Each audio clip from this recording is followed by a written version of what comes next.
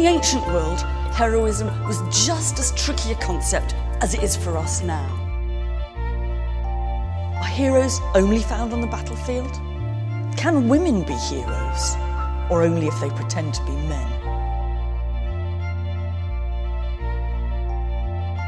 When I think of the First World War, I think of my great granddad. Those who were working in the factories, the infantrymen. I would say the pilots. All the people who risked their lives to help others. They were putting themselves and their lives and their bodies at risk for what they believed in and what they fought for, and as a result, they are heroes or heroines.